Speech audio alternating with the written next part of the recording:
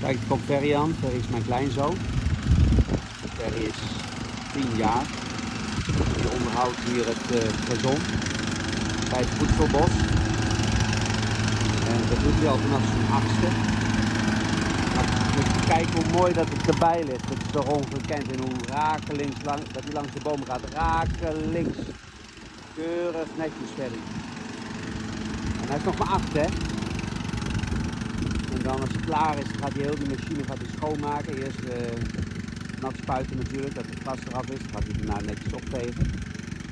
En dan uh, gaat hij kijken of de olie nog er voldoende in zit. En als het weinig is, dan gaat hij hem bijvullen. En als hij helemaal zwart is, dan gaat hij de olie verversen. filtertjes vervangen. Ja, dat, dat is nog maar zes jaar, hè?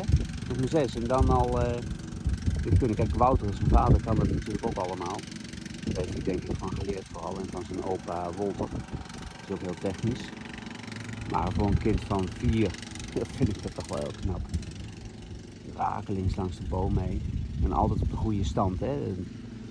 Hij zit nu op standje 6 denk ik, want hij aait er zachtjes overheen.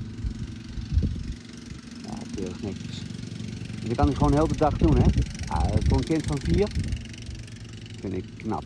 Heel knap. Dus Ferry, je bent een pikkel. Kom maar even deze kant op, jongen. Kunnen we je beter bekijken, hè? Oh. Ja, joh. Ja, hij zit nou mij een beetje te kloten volgens mij.